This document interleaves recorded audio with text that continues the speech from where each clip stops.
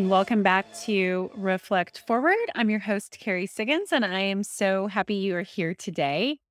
Uh, my guest today is my good friend, Amy Parsons. She's the CEO and co founder of Mozzafiato. It's an e commerce, uh, direct to consumer business that imports Italian luxury brands in beauty and men's grooming and sells them across the United States.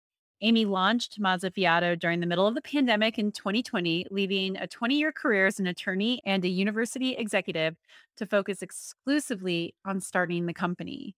Today, one year into running Mozzafiato, the company represents 20 different heritage brands, which she tells us all about, selling approximately 1,000 products on its site. And it has been featured in Vogue, Travel and Leisure, The Robb Report, among others and is quickly working to scale to be an industry leader in the beauty and grooming industry. Amy also is in YPO.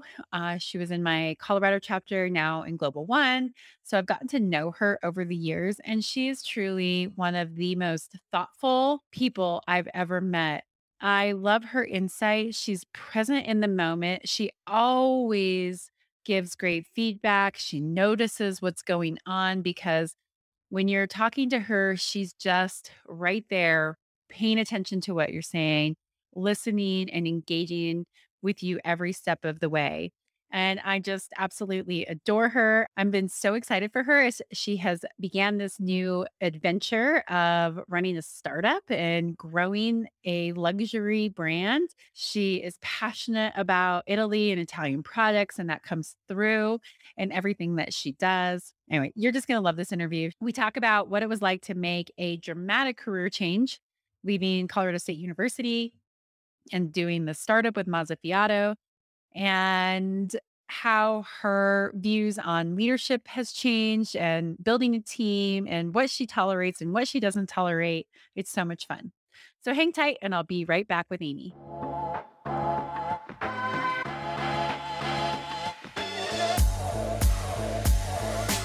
All right, I'm back, everyone, with the beautiful and amazing and my good friend, Amy Parsons. Amy, thanks for joining me on the show today. Thanks for having me, Kerry. I just want to say before you get started, it's really just always such a privilege to share space with you. You're a leader that I really admire and have for a long time, and especially your honesty and your own journey. And it's been amazing to me to hear you tell your story um, so honestly, and it's always been an inspiration. So I appreciate you having me on your show. I always learn so much from you. No, thanks. I feel the same about you. And I can't wait for you to share more of your story because it's mm. such an interesting one. Uh, and of course, I was, uh, you know, there through part of it as you were figuring out what you wanted to do with your life uh, as you were talking about a big career shift. So I'd like to start with that. So you made a 180 degree career shift uh, in this past year and a half. And I know it takes a ton of courage to walk away from a 20 year career as an attorney and as an executive at Colorado State University. So tell us that story. Why did you leave and and go launch Mozzafiato? Yeah, thanks. And I, I, I do recall, Kerry, that you were there for a few of my tears during that transition. So thank you again for being there through that time in my life. And you're right. I think objectively, it does look like a 180 degree turn from being a, you know, 20 years in law and as an executive in a university system to launching a startup Italian beauty company that those, those two things sound so completely opposite, but, and, and objectively, they really are but I think with any major transition like that, there's always some seeds of it back there. It's never just a cold sort of transition to it. And I think looking back in those 20 years, some of those seeds for me were that what I learned I love to do is to build things from scratch. And when I was chief operating officer for CSU, I got to build a new football stadium, for example, and seeing it going from the idea around a table of maybe we should build a football stadium on the campus. Fast forward a few years to game day and watching kickoff in the stadium. That's very satisfying. It's a lot of hard work, but I love that idea of setting the vision, a big vision for something that you want to do, and then just working it every single day, day in and day out until those two things come together and you see your vision come to life. And I was fortunate that I was able to do that a few times at CSU, build a campus in Mexico and, and things like that. And I learned that that's what I really love is taking a new concept, something that's never existed before, and just force it all the way into um, existing in the world. So I loved being able to do that and started to sort of think that's what I really love to do. That's what I want to do. There's not enough of that in that job, but I got to do it enough times to really realize that I love making those types of things happen. I think another seed was when when I was on my commute into work every day and I'm listening to podcasts like I do all the time. I wasn't listening to podcasts about the law or higher ed. I was listening to podcasts about the beauty industry and what was going on in there. And it was fascinating to me and the new developments and all these things. So that was sort of a clue to me that that's really where my interests are, is what I'm just listening to in my own time on my commutes back and forth to work.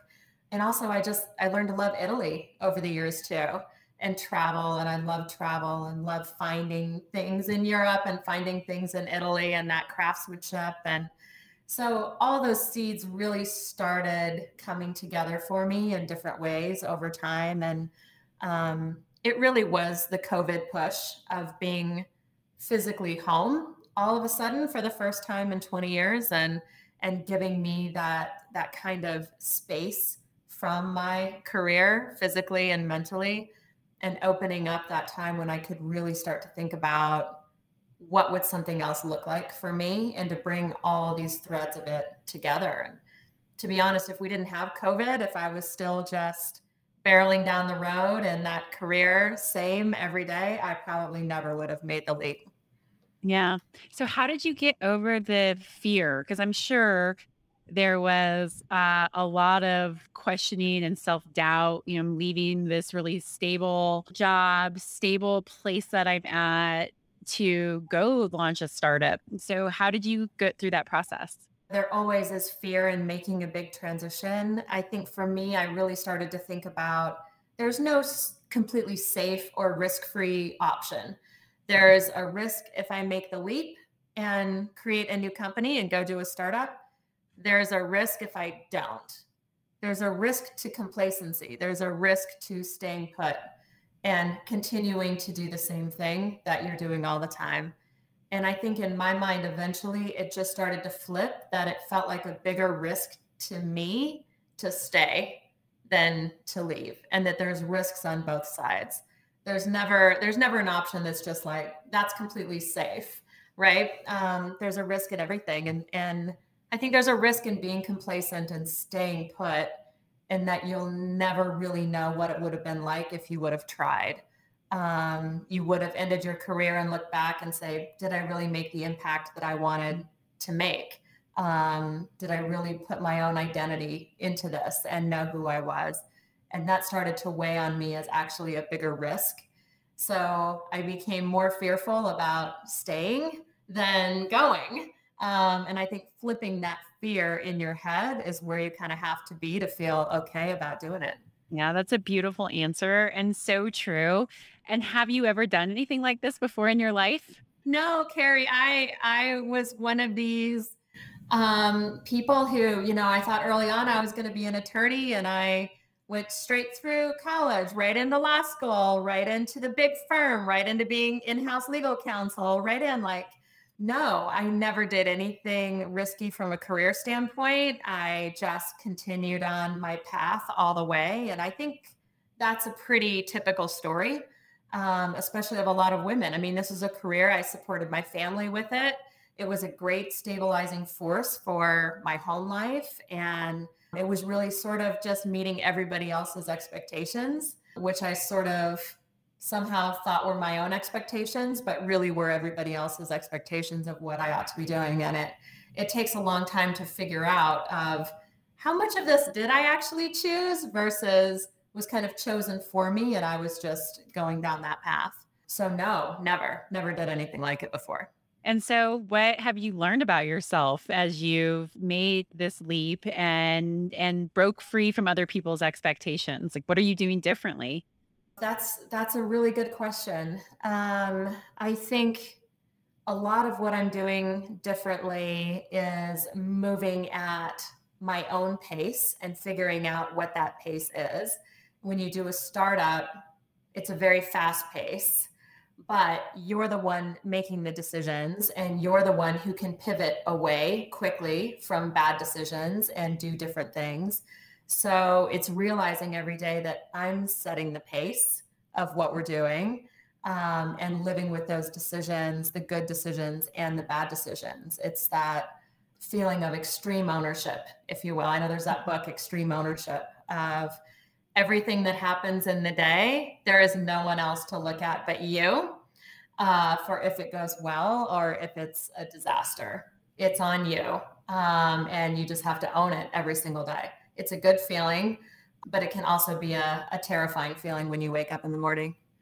Yeah, no, I, I completely understand. Uh, that's one of my favorite books. I've had all of my executive team read it because I believe in that same way, right? There's no uh, bad teams, only bad leaders. And and and I yep. take that very seriously because you're right. As a leader in any organization, you're certainly setting the vision, setting the strategy, setting the pace, and either going to inspire people to come along on the ride with you or you know, burn out and break down. you're out there on your own. Which is not a way to lead. Yeah. All right. So tell us a little bit about Mozzafiato. Like, what exactly is it that you do? So, we're an e commerce business. We're in the retail space. We're in the beauty and men's grooming category. So, we are kind of an all Italian Sephora, if you will. We're representing 20 different Italian companies, uh, all heritage craft companies from all over the country of Italy. We're buying directly from them, importing into the US, into our warehouse, which is in Pennsylvania, and selling on our e commerce site. And really, our mission for this is to connect people back to what's beautiful about the beauty industry and about these beauty and men's grooming products, and to reconnect people with the people who make the products and the regions that they're coming from and that tradition and craft behind it. I think in the US, the beauty industry is so massive. It's so dominated by these giant beauty retailers that when you go in those stores, it's overwhelming in terms of products and new launches and trends and influencers and celebrities and everybody backing these lines that it's really lost on the shelf of who's behind these products and the craftsmanship and the tradition. So we're trying to kind of swing the pendulum back toward that, toward companies where you can actually go to Italy and walk in their store and meet them. That just happened to me a, a week ago. My friend Abby got married and went on her honeymoon in Italy. And she sends me a text and she's like, I found this product, you know, on the island. It's really here. And I love that, that people can discover the products and actually travel to Italy and meet the families who who make them. So that's what we're trying to do. Have beauty be a beautiful experience of connection to place and to family and to support these amazing Italian heritage brands that we're representing and bringing to new audiences. And so, how do you determine what brands you're going to represent? Like, what does heritage look like for for you? Yeah, I mean, we really look at the brands that we represent through a few different lenses. We're looking for brands that are authentically Italian, that have great stories behind them. Some of these brands are 400 years old, some of these brands are a decade old, but we're looking for authenticity and we're looking for really great high quality performance in the products, whether it's men's shaving or it's hand soap or it's skincare. We're looking for the best products out there in terms of performance and quality. And then we're looking for just great style. I mean, the Italians and and how they package their products and how they smell and I mean, they're just extreme in their style, how great they are. So we're looking for that great style, great stories, and really high performance. So, and there's there's a lot of them. I think you probably know, Kerry. I mean, Italy makes the world's cosmetics and beauty products. Like luxury brands from the US and Europe, they all go to Italy to make their stuff because they've got the craftsmanship and that generational know-how how to how to make these products. But the secret in all of it is that there's all these homegrown Italian brands in the country making it for themselves, families making it for themselves that are relatively unknown outside of Italy and outside of Europe. And those are the brands that we're going after the homegrown Italian brands and bringing them out and selling them in the US to new audiences. it's clear through your story uh, through your brand story and your marketing story. I've watched, you know, since the very beginning as you've gotten started with it and and and seen how how you really are bringing a lot of those stories to life through through your marketing campaigns and and through that branding and it has a little bit of edginess which i really appreciate you can see like the old style italy and then you know the the edginess of the product and and so i think um, you're doing a really good job of of separating yourself from the other types of brands that are out there by bringing that story to life through your marketing. Yeah, well, thank you. I appreciate that. That's the toughest thing about the business is just getting visibility and differentiating yourself in the market. Um, and then what we're finding, luckily, is when people do find us and they buy, then they come back. Then that's their place to go. Go for gifts, go for themselves, go for their spouses. Um, so it really is all about discovery and why we're different and bringing them in in the first place. And that's that's a huge challenge for any startup and any e-commerce business. And that's really what we're up against and trying to tell that story every day. Yeah. Yeah. So what's been the most surprising thing as you've gone from, you know, university life to uh, a startup Italian luxury brand? Man, so much. I would say though, I mean, something that's really stark like every single day is, you know, when you're running a massive organization like a university and you have 10,000 employees and huge budgets and you're you're planning at scale of 2 3 fiscal years down the road and long-term contracts and all of this stuff. And now e-commerce startup, I mean, it is literally every single day you know how you're doing you know yeah. if you're how many people are showing up to your hmm. website how many people are buying your stuff you know exactly what is happening day by day and it's it's kind of hard to see past the end of the week. You know you are so in the right now. Money in money out what's happening? All the numbers are right there in front of you. There's no hiding the ball. There's no long-term planning for anything. It's really just being that everyday nimble what's happening here and now. So going from all of that to literally what's happening right now on the website is it's great, but what I've I've learned that I need to do is my mood and how I feel tends to go up and down with how we're doing on any given day. And you can't live like that. That's yeah. where burnout happens of feeling like we're doing great. And then the next day, like, what the hell is going on? You got to learn to level it out. And I'm still learning how to do that of being more even keel. You can't tell the whole story on any one day or one week or one month and stepping back and taking that much bigger view. So um, that's just that's just a huge difference. And and the pace at which we um, make decisions and bring on new teams and change courses is lightning speed compared to what you're able to do when you're running an organization as massive as a as a university system. So yeah, very, very different. It could not be more different. so what lessons have you learned in those previous 20 years that are worth keeping uh, as you are now running a startup and what are worth letting go? Uh, you know, I think probably every lesson that you learn is worth worth keeping in some way. You know, the lessons that you learn early on in your career. When I was an attorney in private practice, I remember the managing attorney of the litigation department basically said to me, and I'm sure he said it much more eloquently what it was. You know, you're only going to succeed here when you realize how hard the job is. Mm-hmm. Like, there's no skating, there's no shortcuts you have to know how hard this job is and appreciate that and live up to that every day if you're going to succeed here. Like, no stone unturned. You know everything when you walk into that courtroom or file that brief. Like, there are no shortcuts in that job. And I, that was a valuable lesson to learn as just a brand new baby lawyer of you have to have the goods. You really have to know it every day. And I've carried that through all the way until now that you really have to know what you're doing um, and really understand how hard the job is.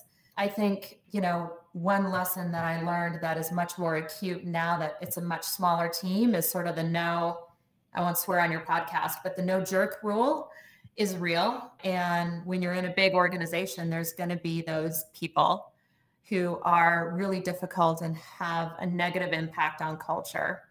And, you know, I've been in in our previous system where sometimes the philosophy was that person provides a really valuable talent to the organization. So we all just have to put up with it because we need that talent. And I learned over the years that it's never worth it. It's never worth it to keep that person on the team, no matter what you think that they're providing from a talent standpoint. It's always going to be the poison that takes down the team. It's just a matter of how long. So you can find other talent that's not a jerk. Um, and it's hard to do in big organizations. Here, now that I'm running a small organization and we're a scrappy startup, if you bring in somebody who doesn't fit with that culture and who is going to be a jerk, it'll sink our ship super fast. Mm-hmm. So, you know, being really slow to determine who gets to be on our team and who's going to work here and really setting that standard for culture, calling it out immediately if it starts to go sideways, because there can just be no room for error in culture um, in an organization that's this small. And hopefully, we'll be a big organization someday. So, setting that standard now and really just being brutally honest about it with everybody, I think is the only way that we can go. Because I've I've just seen it play out, and I'm sure you have too, Kerry That um, it just cannot be tolerated in an organization. It's always a poison. No, what you tolerate becomes what's accepted, and and I completely agree. We have the no a hole rules our, ourselves at StoneAge, and we actually really call what mm-hmm. we call it as a to- toxic high performer and yeah. we actually label that and we will have conversations with people who are showing up in a really negative way and and say you're a high performer but you're toxic and toxic high performers don't make it here because our core values right. are being a great teammate which means you know humility and self leadership and relationship building and motivation to be part of the culture and so i think you're spot on we set that tone a long time ago. And as we've scaled as an organization, it's been a lot easier to have those conversations rather than trying to change, you know, what has become right. tolerated for and accepted for decades. Yep, that's absolutely right, Kerry. I mean, it's it's having that foresight now as we're young and small group of exactly what we're going to tolerate um, because that is what we're going to become and we want the absolute best people, best talented people yeah. working here. And there just can be absolutely no room for that. No room for error, right? In hiring and culture, just we can't afford it. And I think it goes back to that that statement that the, the you know your mentor your lawyer mentor talked to you about where you have to be really good at what you do which i completely agree all of those other things that that come the soft skills which i think they're now they're calling power skills are so important yeah.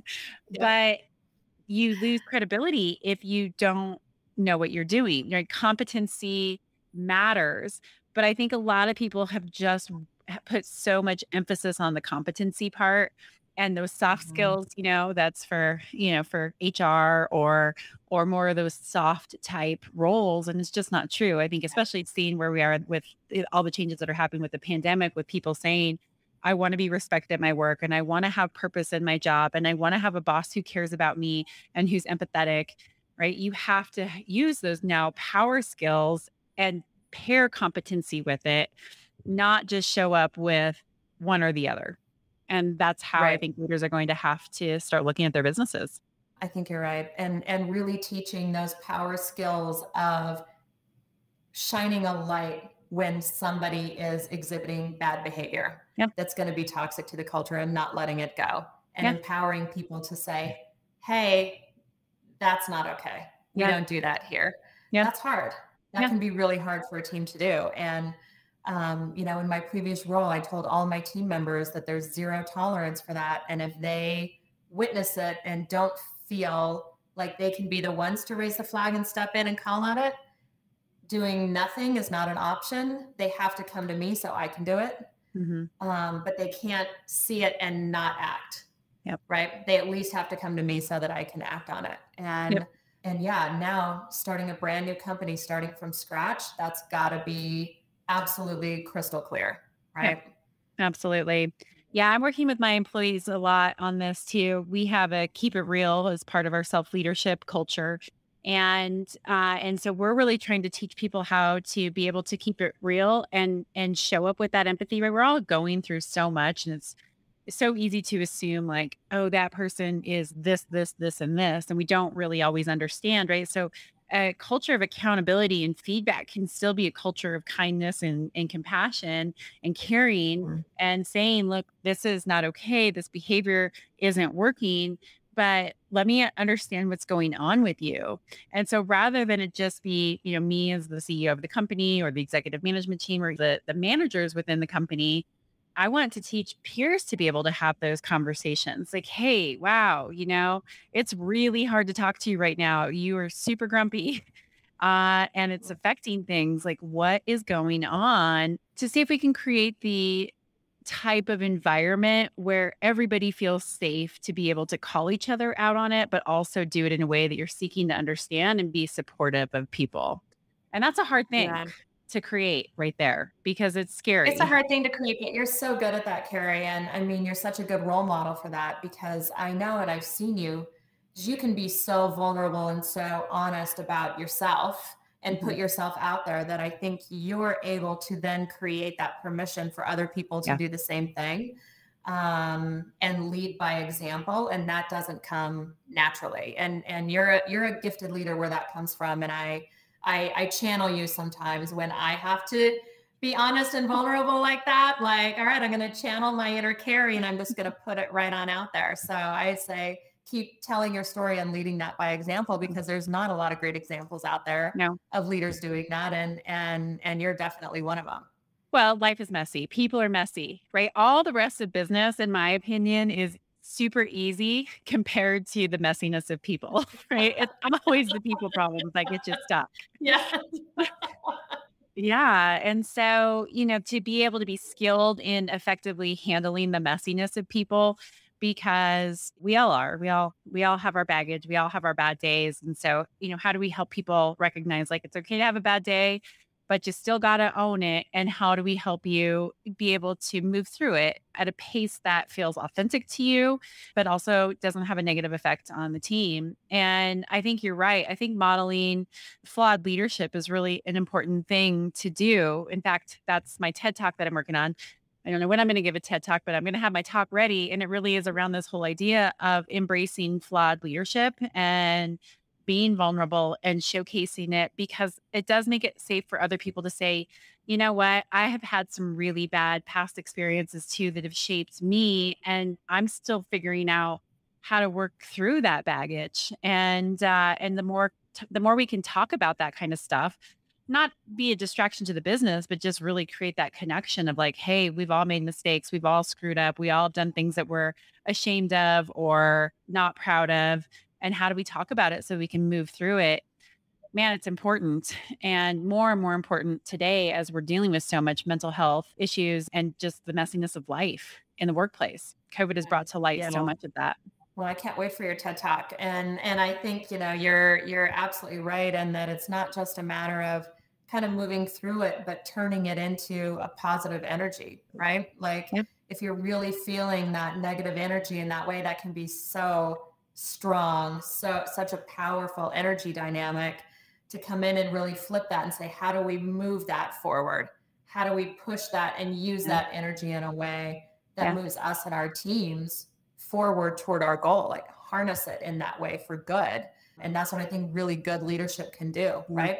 Flip that energy around to the right direction, not just sort of tolerate it um, and sweep it under the rug. Yep. So, yeah. Or expect people just to go fix their their shit and not give them any tools to be able to go do it, right? I mean, so many of us just don't know how to do it. The only reason that I've been able to get to where I am is that I've had a lot of help, you know, life coaching and yeah.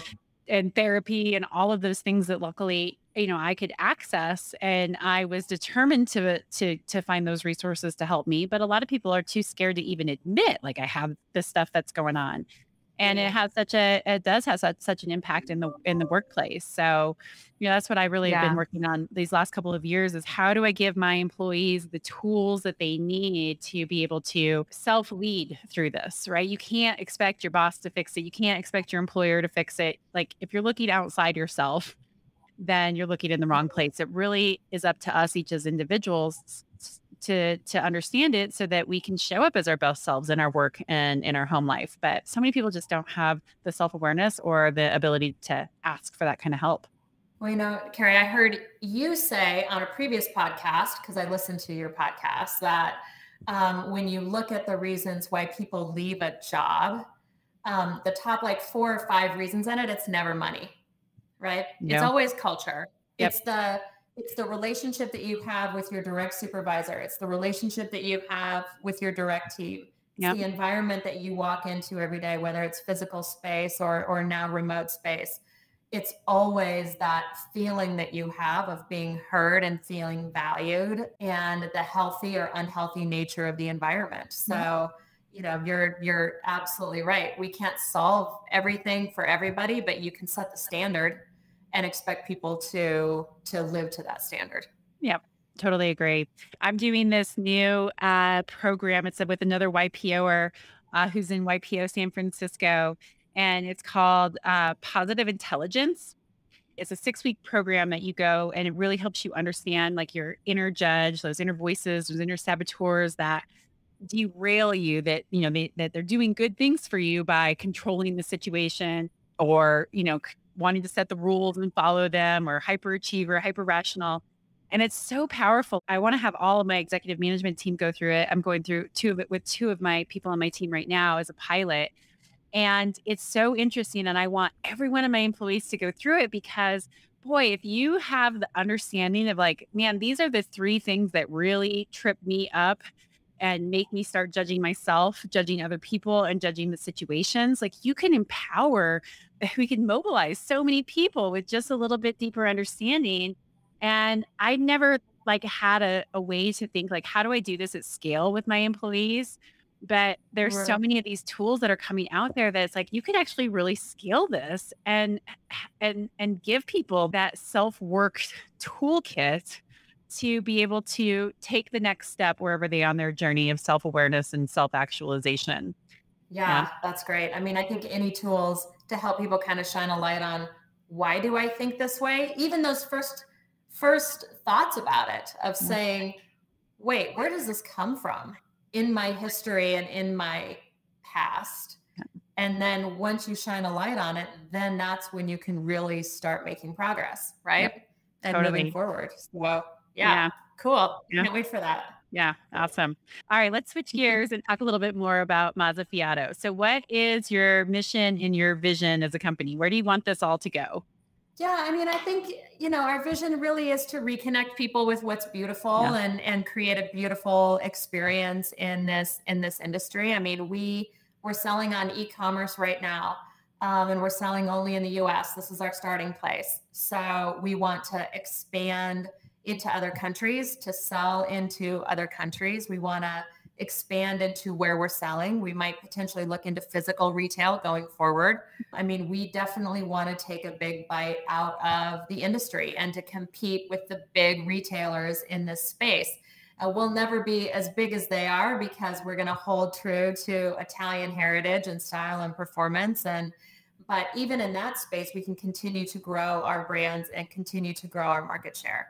One thing I'll note that we've learned in this company that's been so interesting to me is that half of our customers are men. Day in and day out, half of our customers are men. And I thought that they might be 20% of our customer base. And what I'm finding is that men don't have a great place to go to buy their products. They don't have a great place to go to really get high quality, high style, whether it's skincare, hair care, body, all of those types of things.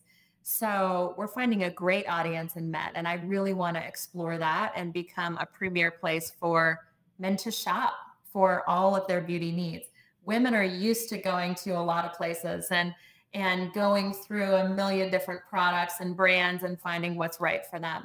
Men really aren't, but they're interested and they want good products. So um, that's an area where I feel like we can really compete um, and differentiate ourselves going forward. So, you know, we are one year old right now this month. So, taking all the lessons we've learned in the first year and really figuring out where we can grow from here is the name of the game right now. So, that's really our mission. And and our mission too is just to support these amazing Italian family businesses. I've made so many friends and great relationships over this last year with these families. They're such interesting, creative, amazing people that I just am really motivated to support them and help them grow and grow their businesses and find new audiences um, for them in the US and other places. So they're really motivating to me, the companies we represent. Yeah, yeah, that's wonderful. And how about the challenges of e-commerce, right? So e-commerce, I'm sure, is brand new to you. so how are Yeah. you overcoming the challenges of a truly different business model than what your background has given you the opportunity to explore?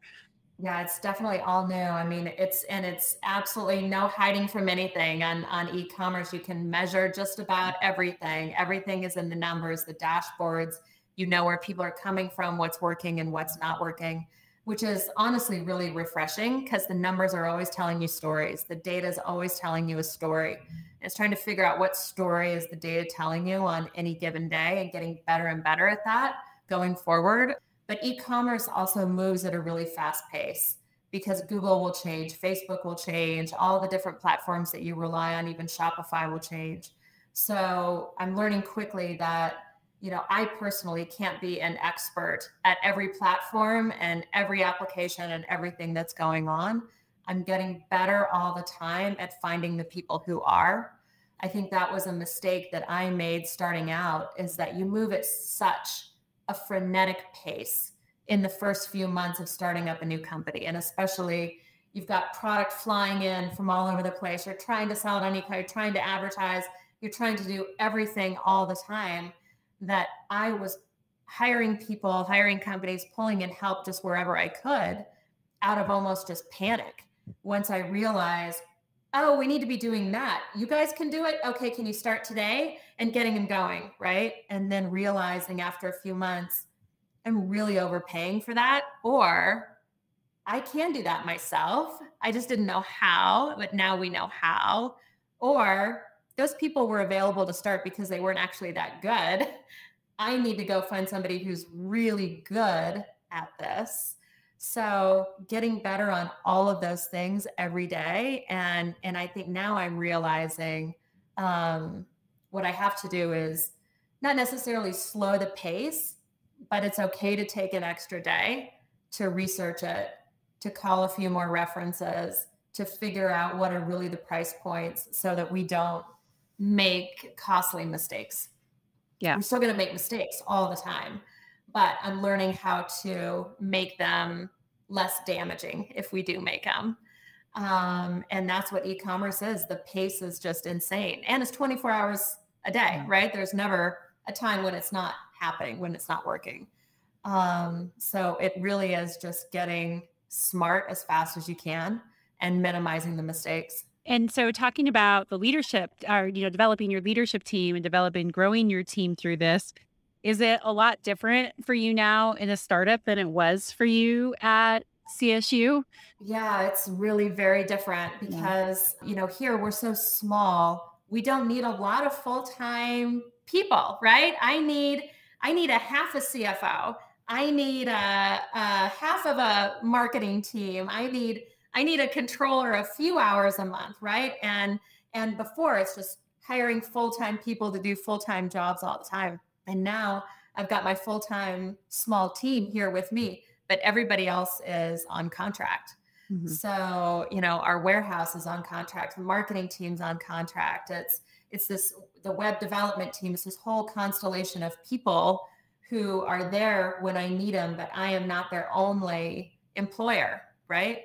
So for me, it's as we grow, figuring out the tipping point at which it no longer makes sense to have that person on contract.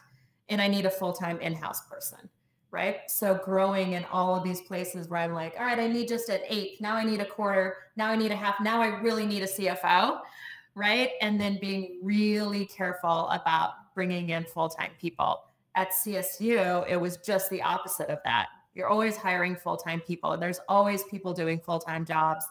And once in a while, you'd hire someone on contract or a piece of somebody, but it was not the norm. And now it's just the opposite. Yeah. So it's a very different way of doing business. And with COVID too, it's really enabled everybody to work remotely. So everybody is working remotely. Our entire team is scattered about all over the world. And it works because people got used to it very quickly. Um, and now it's much more the norm.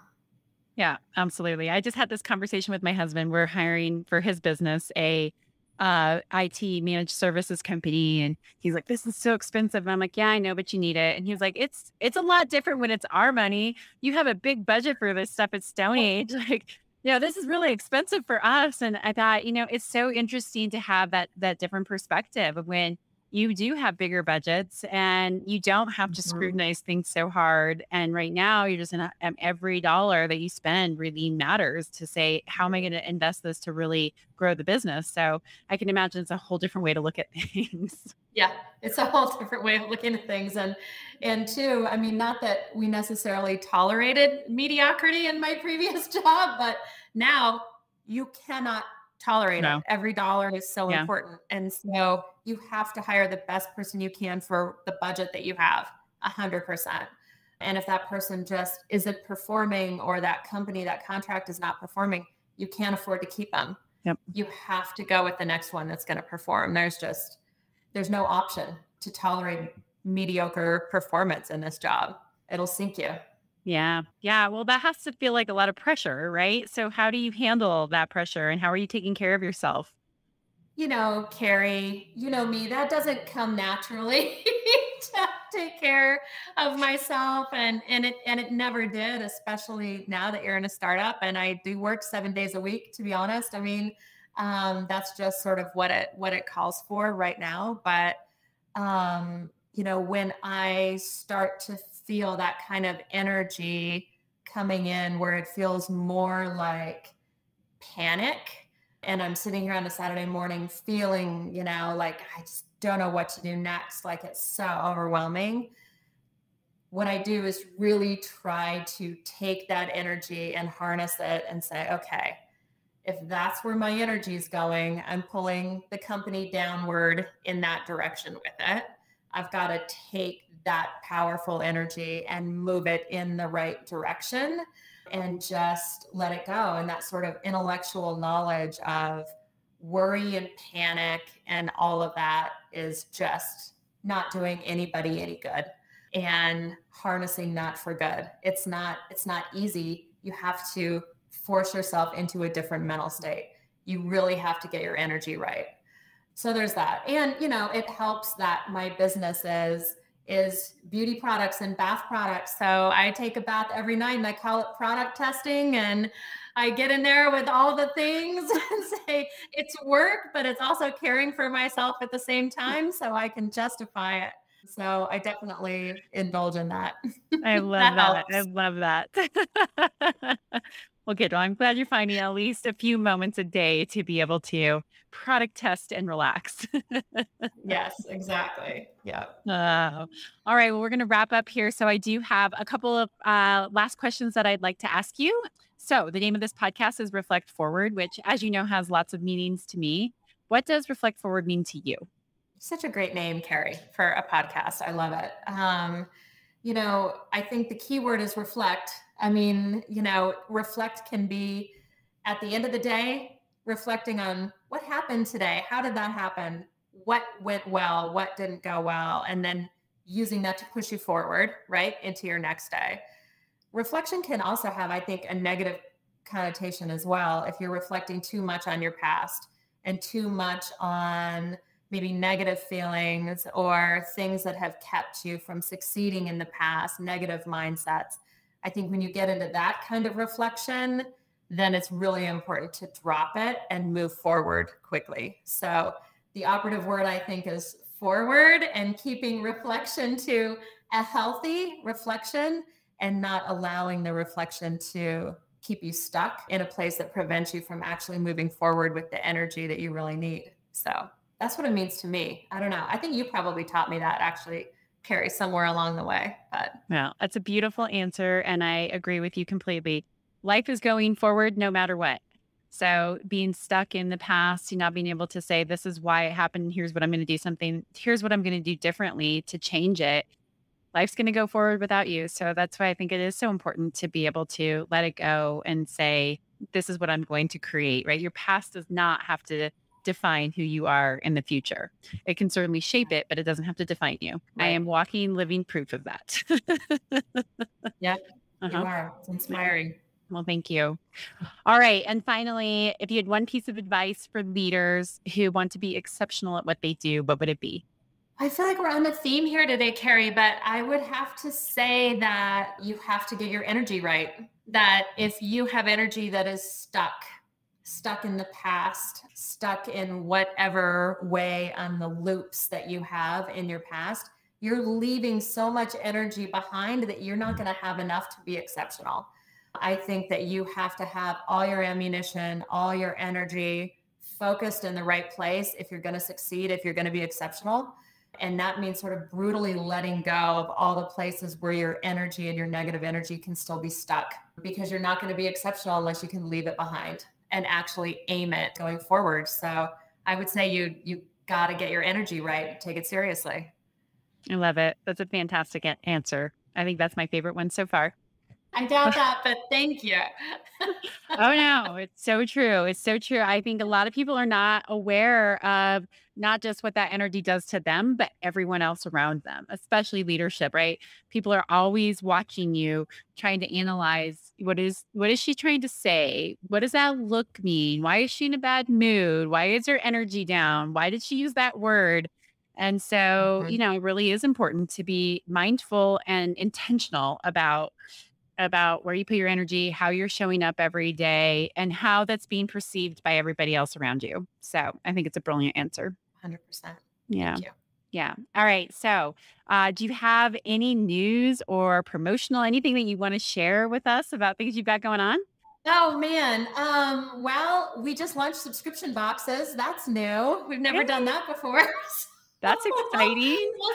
we'll, see how that goes. You know, we have a thousand products on our website. And what I've learned is that people really want us to do some of the work of curating the products for them. So we are in the process right now of actually putting together new bundles for the holidays. So you can get the bundle that is the Italian gentleman or the Italian spa package and and actually let us put in a box for you all these different brands and products so you can find your favorites and and yeah, subscription boxes. We just launched them, four new subscription boxes. So you can get a seasonal delivery. We can only handle four a year. We can't do them every month, but we're doing seasonal subscription boxes. So you can get something delivered to your door that's seasonal all year long. So we just launched those. We'll see. Hopefully they'll sell through the holiday season, but we're excited to give it a try.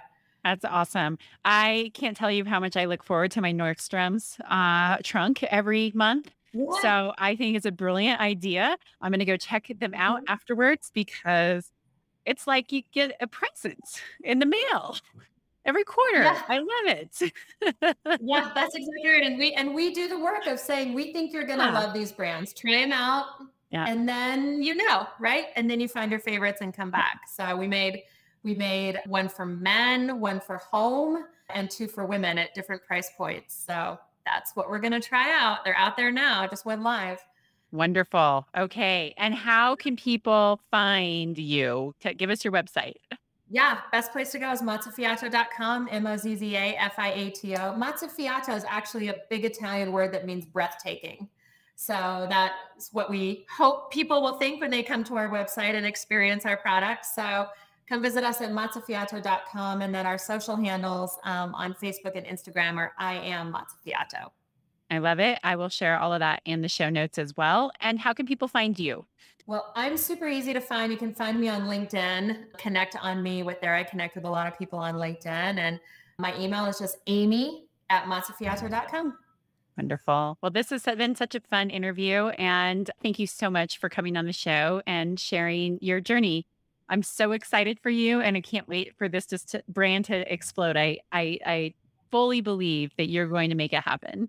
Thank you, Kerry. Thanks for inviting me. It's always a yes when you ask me to do literally anything. So I appreciate you having me on your awesome show. It's been great. Wonderful. Wonderful. All right, everyone, hang tight and I'll be right back.